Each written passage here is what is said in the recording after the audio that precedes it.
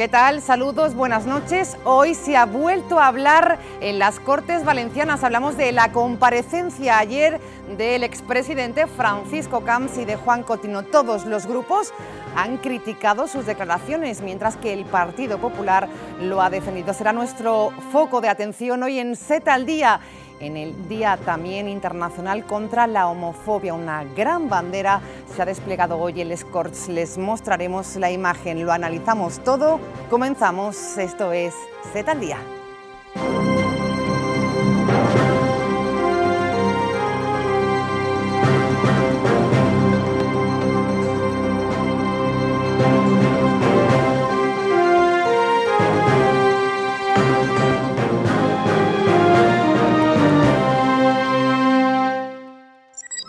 El Partit Popular desvela que Rita Barberà va declarar pel blanqueig davant l'instructor de Genova fa dos setmanes. L'exalcaldessa de València va negar el passat 3 de maig que haguera realitzat cap il·legalitat. Les Corts Valencianes se sumen a la commemoració del Dia Internacional contra l'Homofòbia. La bandera de l'Arc de Sant Martí ha onejat en la façana principal del Palau dels Borja, seu del Parlament Autonòmic. L'exdirectora de l'IBAM, Consuelo Ciscar, falta a les Corts per a explicar la seva permanència en el Consell Valencià de Cultura. Considera que no té obligació de fer-ho perquè podria interferir amb la legítima defensa del seu honor i de les seues actuacions.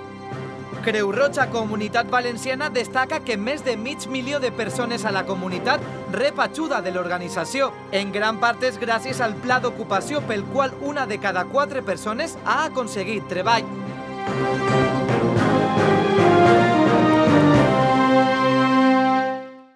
Comencem el Partit Socialista, Compromís i Ciutadans i Podemos han criticat avui la compareixença de l'expresident del Consell, Francisco Camps, i la de l'exconseller Juan Cotino. Parlen de tots els partits en representació en les Corts, excepte el Partit Popular, que els ha defensat. Recordem que els alts càrrecs de la Generalitat van declarar ahir en la comissió que investiga l'accident de Metro València. Consignas mediáticas, creo que me ha preguntado usted. Ninguna, nunca, jamás. Ninguna. És la declaració que ha acaparat avui l'atenció en les Corts. Els diferents portaveus polítics han valorat la compareixença de Francisco Camps i Juan Cotino en la comissió que investiga l'accident de Metro València. Alexis Marí, de Ciutadans, es ratifica en el seu qualificatiu d'infame. Se enfadó porque elige infame, elige que rectificaba y que no era infame, que era muy infame. Porque mire, eh, lo único que cabía esperar, desde mi punto de vista, eh, a nivel político de una persona que ha sido presidente de la Generalitat es primero que pidiese perdón.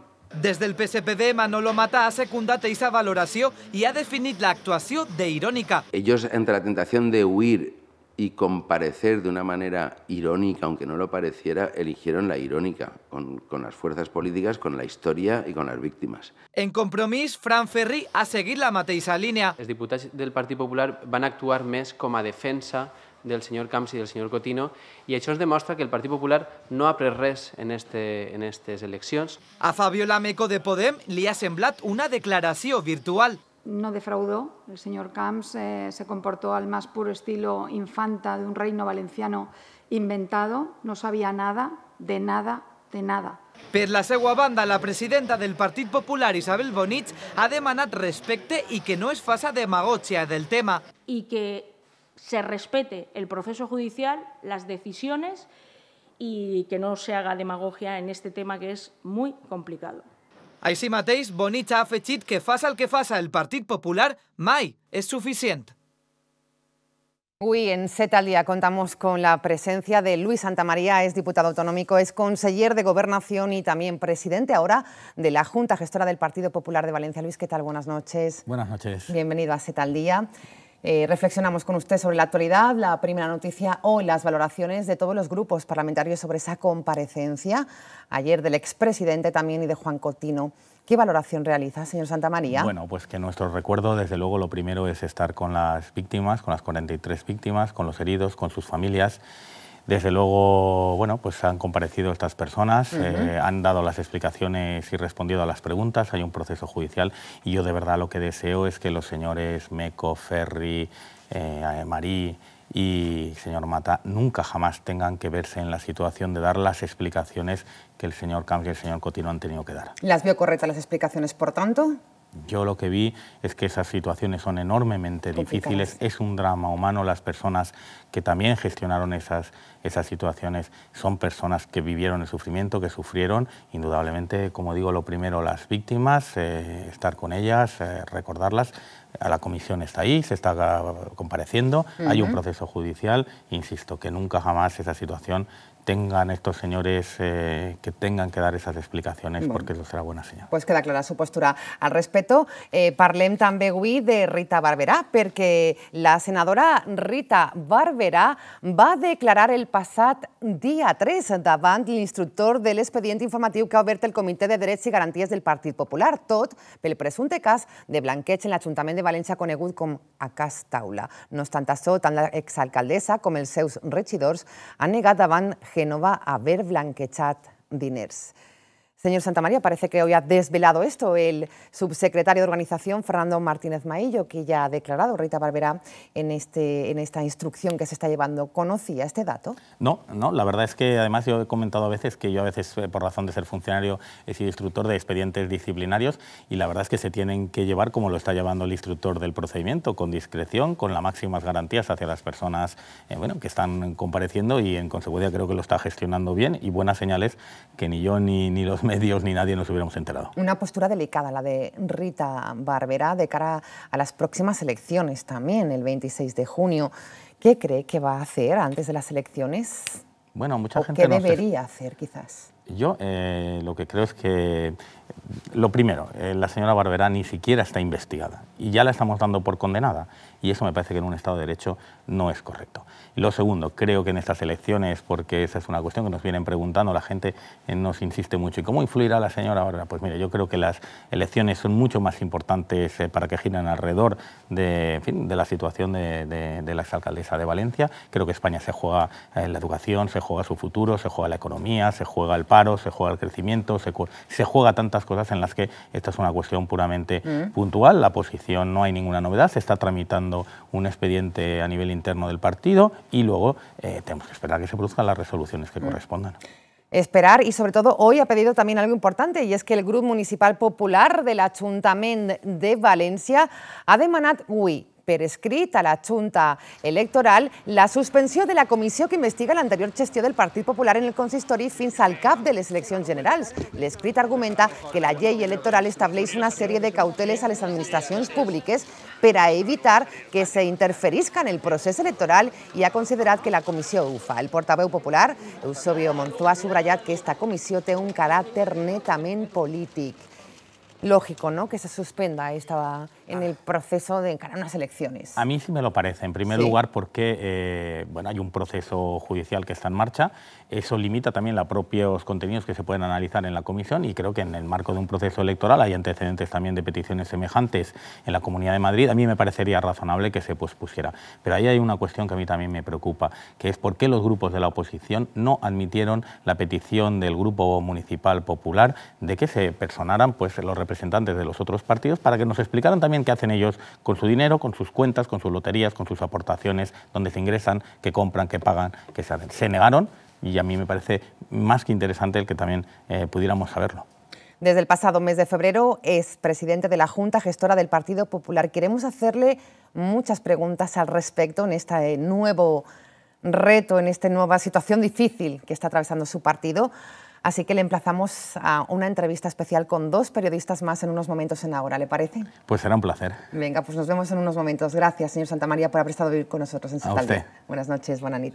Más coses, eh, anem Corts Valencianes perquè avui ha sigut un dia important, s'han sumat a la commemoració del Dia Internacional contra l'Homofòbia. Ho han fet amb la col·locació d'esta bandera de l'Arc de Sant Martí en la façana principal del Palau dels Borja, seu del Parlament Autonòmic. Representants dels cinc grups dels Corts han posat al costat de la bandera del moviment. Després d'això, el president de la Càmara, Enric Morera, ha explicat que este símbol visualitza que els representants del poble valencià treballen per la igualtat de tots en drets i la diferència com a persones.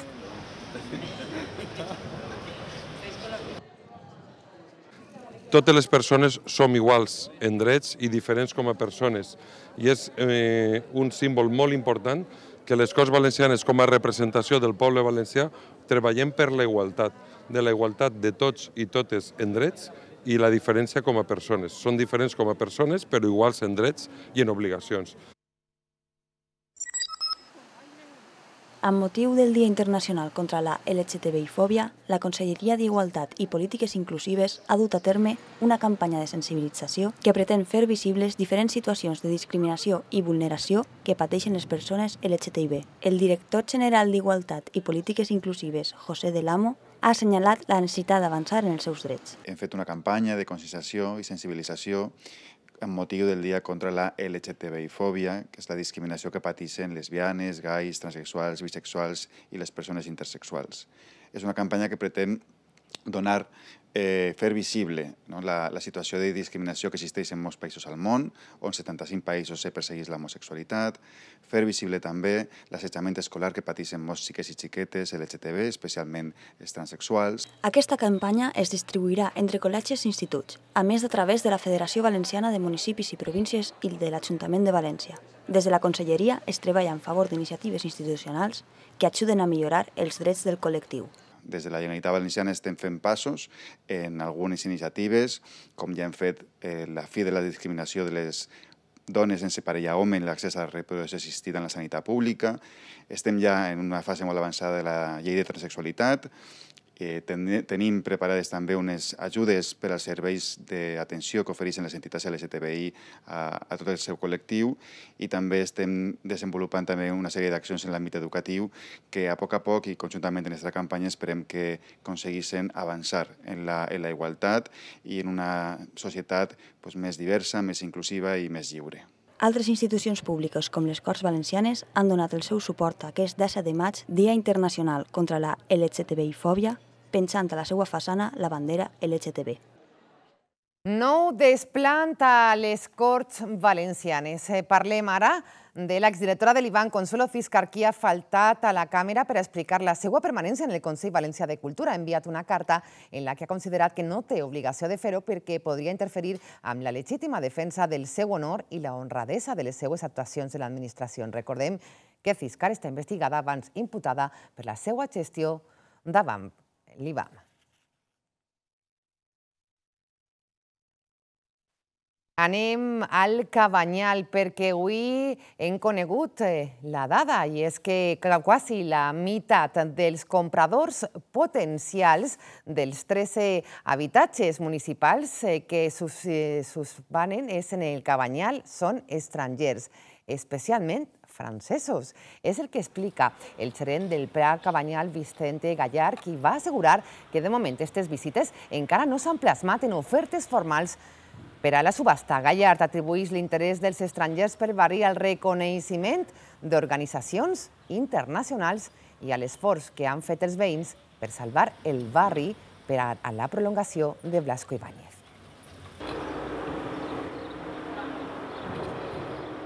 Cruz Roja, la comunitat valenciana, fa balanç de dades i reptes de futur. Entre les principals conclusions, més de mig milió de persones a la comunitat repatxuda de l'organització, en gran part gràcies al pla d'ocupació pel qual una de cada quatre persones ha aconseguit treball. La majoria d'elles, el 60%, han rebut atenció per raons esdevingudes per la crisi econòmica.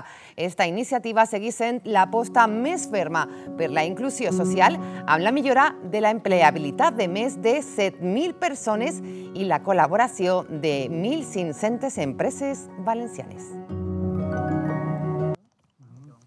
Creemos que eh, debemos de impulsar eh, hasta el límite de nuestras capacidades esta, eh, esta herramienta, ¿no? el darles posibilidades de empleo, formación, apoyo.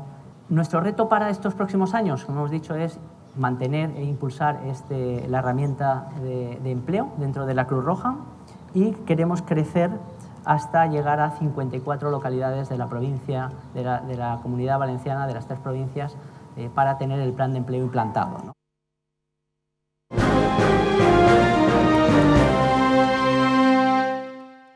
Seguimos hablando de solidaridad, lo hacemos ahora con nuestro siguiente invitado. Recibimos en Z al Día a Sergio Claramunt, él es el director y también fundador de Payaso Hospital. Sergio, ¿qué tal? Buenas noches. Muy buenas noches. Encantado, encantado de estar aquí y de que me hayáis invitado una ONG con una trayectoria importante. ¿Que pues nació hace cuánto tiempo, Sergio? Pues hace 19 años que nació y 17 hemos cumplido ya de actividad en los hospitales. y ahí estáis llevando a cabo una labor importantísima con esos pequeños que no atraviesan su mejor momento. Pues no, pues ya que están eh, en un hospital, hospitalizados, atravesando pues un periodo de enfermedad, a veces crónica, a veces aguda, y nuestra misión pues es intentar que los niños se olviden de que están en un hospital, se olviden de que están enfermos, incluso de que tienen dolor. ¿Cómo funciona Payaso Hospital? Cuéntanos. Pues mira, Payaso Hospital es una ONG sin ánimo de lucro que su objetivo es lo que estábamos comentando, desdramatizar mm, el, este entorno, claro, el entorno hospitalario y esto lo hace a través de programas regulares, anuales, eh, con payasos profesionales formados para trabajar en el hospital, coordinados con los equipos sanitarios. Y gracias a esta coordinación con los equipos, nosotros podemos pasar habitación por habitación, ir allí donde se encuentra el niño, a la unidad donde se encuentre, podemos ir incluso hasta la UCI, a, neonatos, a, cantarles. Eh, donde estén, en trasplantes, en hemodiálisis, donde estén, y le hacemos la visita del doctor payaso, adaptándonos un poco al estado y de cada niño. Claro, de cada niño, fundamental, para no meter la pata, sabemos dónde estamos tenemos un código deontológico, tenemos una, metodología muy, muy clara, por eso seguimos trabajando en los hospitales, si no ya nos hubieran tirado. Es cierto. somos payasos, pero somos serios. ¿Cuántas personas se forman esta gran ONG Payaso Hospital, Sergio? Pues actualmente somos 15 payasos profesionales que están trabajando en tres ciudades, aquí en Valencia, en Alicante y en Castellón. En Valencia estamos en la FE, en el clínico y en el Doctor Peset. En Castellón estamos en el General y en Alicante en el General y hemos comenzado este mes justamente en Elche también. También. En el Hospital General de Elche. por primera vez. Por primera vez en la historia. ¿Y qué tal? Encantados, encantados, porque han pasado algunas ONGs y nosotros vamos eh, un poco eh, detrás, con lo cual ha sido una, demanda de una ONG valenciana y tenían que habernos llamado antes, pero bueno, ahí estamos. Nos daba la clave antes eh, Sergio Claramonte en coordinación total con el equipo médico, ¿no? Esto es fundamental. Cada niño es una historia, cada niño se le puede sacar una sonrisa o no. Eh, ¿Cómo es esta fase? ¿Cómo, ¿Qué coordináis eh, con el equipo médico desde pues, Payaso Hospital? Pues mira, cuando los payasos llegan al hospital, se cambian, se preparan y lo primero que hacen es, mm, hay un recorrido ya pautado con los equipos médicos y vamos a, a reunirnos con las enfermeras, normalmente o a veces con algún médico que nos cuenta, nosotros es la, parte seria de nuestro oficio, nos quitamos la nariz y eh, apuntamos un poco pues, cómo se llama el niño, qué edad tiene, eh, su estado clínico, su estado hospitalario, su entorno familiar, un poco nos hablan de cada caso eh, todos los niños vamos a, vamos a recoger esos datos y luego vamos a visitarlos teniendo en cuenta lo que nos han dicho los médicos. A veces hay demandas particulares, dice, pues tiene que beber agua o eh, tiene que orinar o tiene problemas con la comida o miran, eh, está muy retraído, a ver si lo intentáis animar o acaba de operarse, ir muy tranquilos eh, o tiene que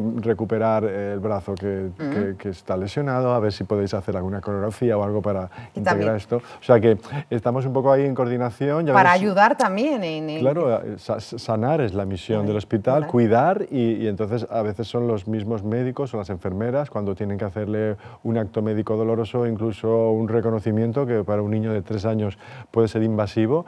Eh, los payasos son requeridos para que podamos distraer al niño y que ese acto médico sea lo más llevadero posible y a veces lo más divertido porque puede convertirse en un juego, puede convertirse en algo mágico, poético e incluso eh, pues, eh, sorprendente para el niño. Y, mm. y así podemos trabajar en común. Estamos viendo imágenes que nos ponen nuestros compañeros de esa función eh, fundamental que lleva a cabo Payaso Hospital. ¿Es complicado? Es...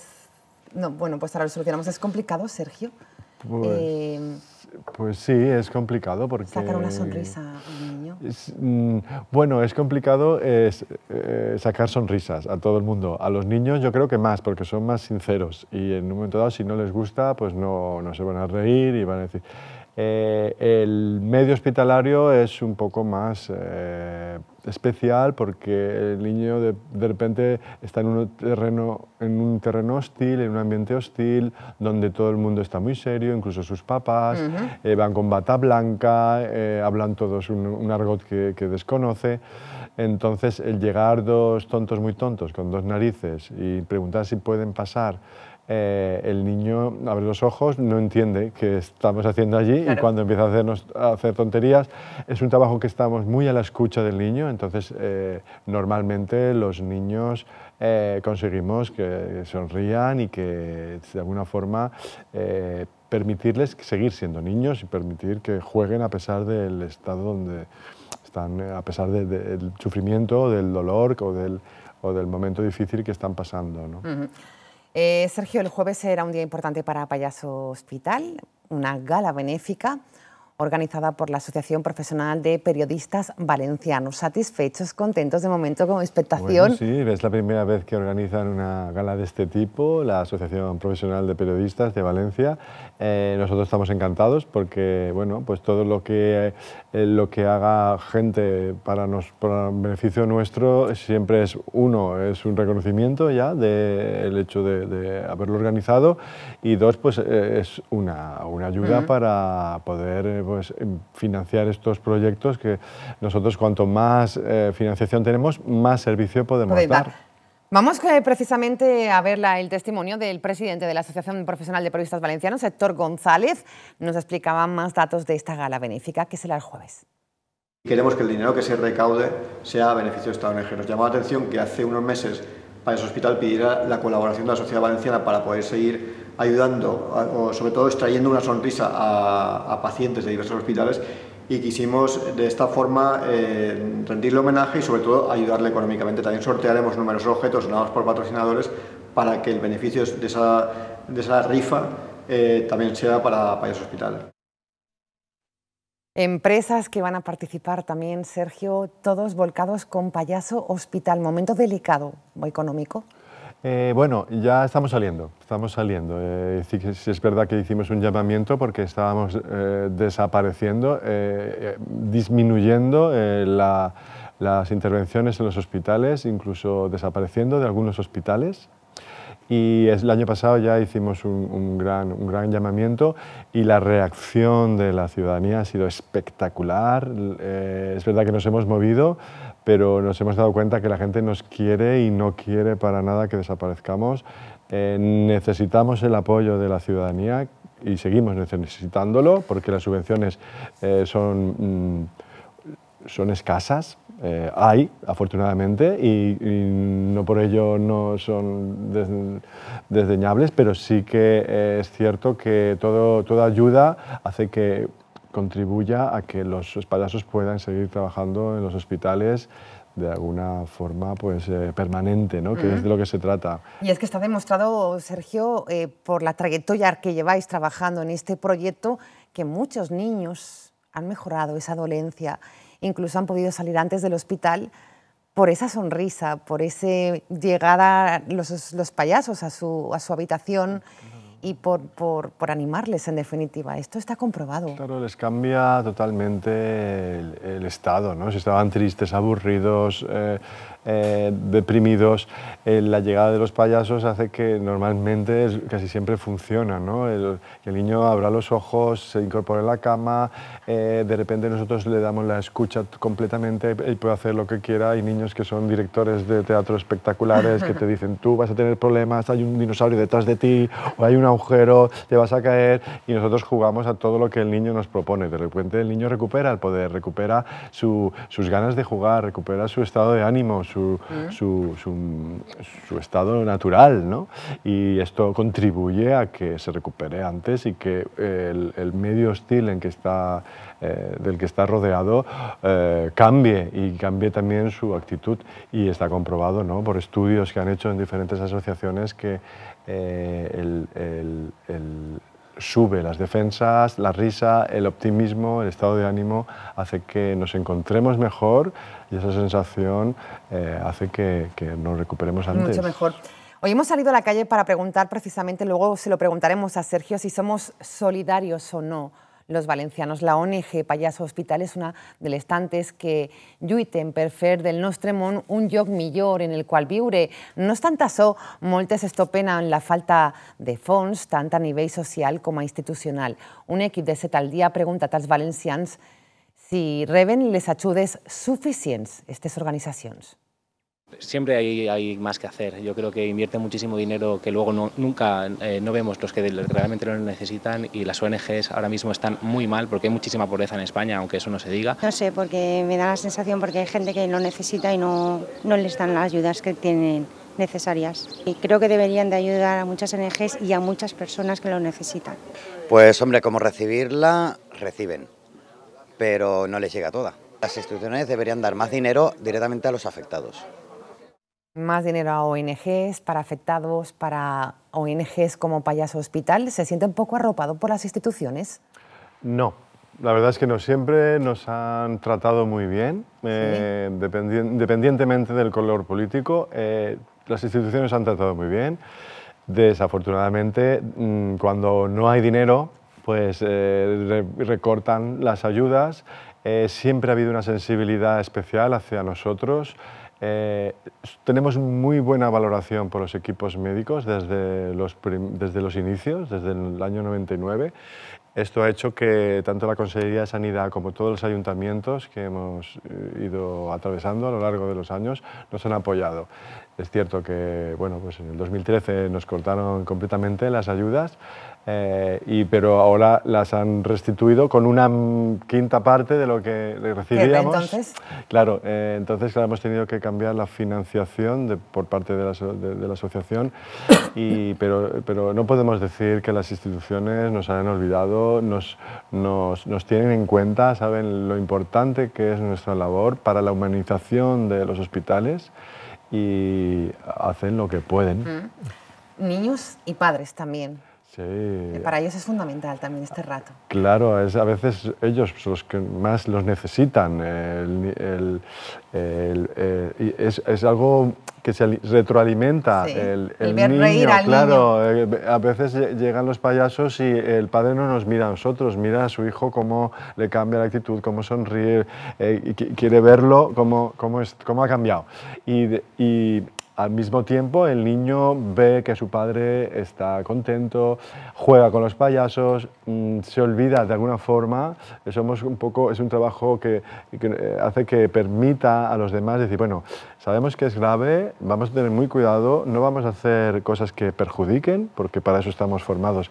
Y e informados, pero sí que te puedes reír, puedes seguir jugando, tu niño va, va a sentirse mejor cuando está con nosotros, tú vas a sentirte mejor de estar eh, viendo a tu hijo sonreír y tu hijo te va a ver, eh, va, va, a recibir de una mm. forma más eh, placentera como tú, el padre o la madre, que a veces son los que son más conscientes de, de lo que está pasando, de, de lo que está pasando va a cambiar. Esto. Una labor extraordinaria. Enhorabuena, Sergio Claramunt, director y fundador de Payas Hospital. Esperemos que vaya muy bien esa gala el próximo jueves, organizada por la Asociación Profesional de Periodistas Valencianos para recaudar eh, una parte económica para esa labor tan importante que hacéis, Sergio a, la, Suerte. a las 9 en el Colegio de Médicos. Mm, ¿Aún de se pueden conseguir entradas? Sí, señora. Venga, pues gracias, Sergio. Buenas noches, buena nit. A vosotros. Seguimos repasando otros temas de actualidad. Arranca el programa de prevenció de la legionela. Esta iniciativa de la Diputació de València recorrerà 90 municipis de tota la província amb la finalitat d'analitzar les seues aigües i controlar així esta bacteria. El programa de prevenció de la legionela ja està en marxa. Es tracta d'una iniciativa impulsada per l'àrea de benestar social de la Diputació de València en col·laboració amb l'Hospital General. El seu objectiu, prevenir y controlar la legionelosis. Desde la Diputación lo que hemos querido es entrar en una parte que es la del tema de prevención, de control y de formación. La prestació de prevenció del bacteri de la legionela està destinada a aquells municipis menors de 10.000 habitants. Estos tenen l'obligació d'elaborar les anàlisis per a complir amb la normativa vigent. la preocupación de que realmente los pueblos pequeños, que lo he dicho antes, no tienen posibilidades técnicas para poder estar haciendo este seguimiento. Gràcies al programa, 90 municipis de la província de València es beneficiats. I és que amb este conveni de col·laboració van a realitzar-se més de 360 analítiques de les aigües per evitar riscos innecessaris. Se transmite sobre todo por los aerosoles, es decir, cuando hay agua en suspensión mm, que se desplaza por el viento o por algún otro vector y sobre todo en las personas que tienen algún problema eh, inmunológico, que tienen alguna depresión de su sistema inmune, eh, son en las que se suele desarrollar la enfermedad. El programa de prevenció impulsat per la Diputació de València recorrerà un total de 5.000 quilòmetres amb la finalitat de prendre totes les mostres necessàries per a prevenir la legionela. Parlem de la polèmica dels horaris eh, comercials. L'assumpte dels horaris es resoldrà a la major brevetat. Així ho ha destacat avui la secretària autonòmica d'Economia, Maria José Mira, abans d'assistir a una jornada sobre el futur del sector agroalimentari. Mira ha assegurat que hi ha hagut un error administratiu que es resoldrà pronte per a tornar a la situació existent de limitació d'obertures en festius. La secretària autonòmica d'Economia també ha precisat que és una qüestió de gestió, ja que falta un tràmit d'al·legacions i un informe econòmic. El MAC torna al municipi de Mislata. Parlem de malabaristes, acròbates i pallassos de tota Espanya que es donaran cita este cap de setmana en la quarta edició del Festival Mislata Art al Carrer. Amb este espectacle de les arts escèniques ja consolidat, el municipi valencià comptarà amb una variada programació de disciplines molt variades, des del circ tradicional fins al contemporani. A més, com a novetat d'esta edició, el MAC comptarà amb una jornada dedicada exclusivament a la música en el carrer.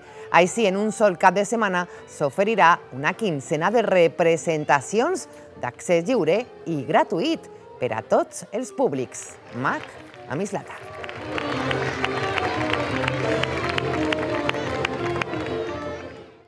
Ja coneixem els primers detalls de la falla municipal 2017. A més, este cap de setmana, València ha la desfilada de les arts en un any on la seda és protagonista. Connectem ja amb el nostre company José González. Què tal? Buenas noches. Bona nit.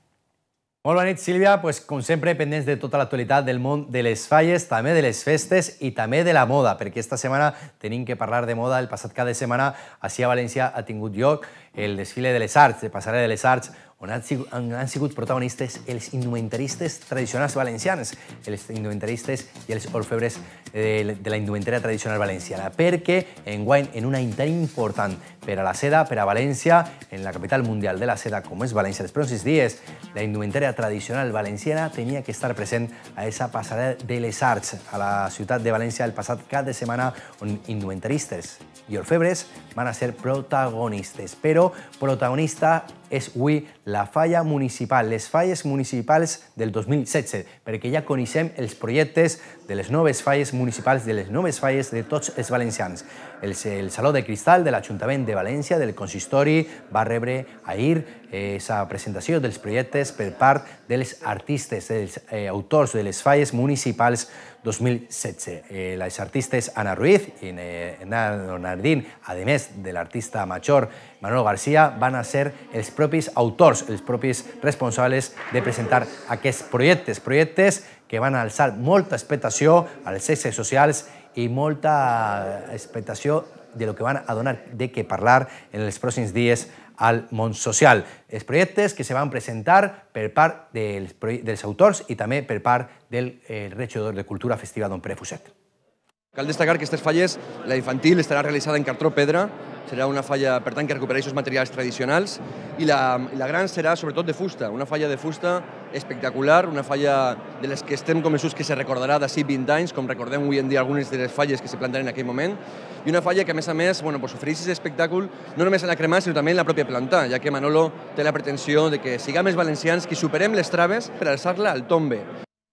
Una vegada coneixem ja les falles municipals 2016, pendents d'altres festivitats, com la festivitat del Corpus a la ciutat de València, la festivitat grossa d'esta ciutat, que tindrà lloc els pròxims dies, el pròxim cap de setmana, però comença ja este cap de setmana les primeres, les primeres activitats entorn a aquesta festivitat, la festivitat gran de la ciutat de València, la festivitat grossa d'aquesta ciutat. Així que estarem pendents este pròxim cap de setmana de la festivitat del Corpus, també estaré pendents de la ciutat veïna d'Alacant, perquè els pròxims dies presenten, presenten els seus tratges de les dames set empreses valencianes enguany presents en Alacant. També el pròxim cap de setmana en la proclamació de les seues vellers on estaran presents les Falleres Majors de València. Així que estarem pendents de totes les coses i moltes més, així com sempre, a Canal 7 Televalència, la seva televisió, la, tele, la televisió de l'actualitat, de les falles i de les festes. Gracias, José González, por toda esa información. Avui també un dia destacat per a Fedecova. Celebra el seu 25 aniversari i ho fa amb un esdeveniment de gran calibre empresarial, institucional i social. Organitzat també per AINIA, l'han nomenat pel futur del sector agroalimentari de la comunitat. Ha comptat amb la presència de Ximo Puig, qui ha afirmat el seu compromís d'ajudar al sector agroalimentari. Pel futur del sector agroalimentari de la comunitat valenciana. És el nom de l'esdeveniment organitzat avui per Fedacova i Aínia amb motiu del 25 aniversari de Fedacova i que ha congregat a uns 400 empresaris. Cita també amb gran representació institucional que ha inclòs l'assistència del president de la Generalitat, qui ha afirmat que reprendran les ajudes per a potenciar la qualitat del sector. Después de tres años volverán a ponerse en marcha en antes de un mes todas las ayudas para el sector para las pequeñas empresas, fundamentalmente del sector agroalimentario, para conseguir también que esos objetivos de calidad vayan hacia adelante. Tampoc ha faltat la consellera d'Agricultura, Elena Cebrián, per a reconèixer a federacions i actes d'este tipus. Reconocer los, los activos, todo lo que se ha conseguido y sobre todo el papel tan importante para nuestra economía durante la crisis y en continuar hacia la exportación, pero también reconocer aquellos aspectos en los que hay que continuar trabajando. Una jornada empresarial en la cual el presidente de Fedacova, Federico Félix, ha mostrado el seu total orgullo. Hace 25 años empezamos con 189 empresas y dos, dos o tres asociaciones.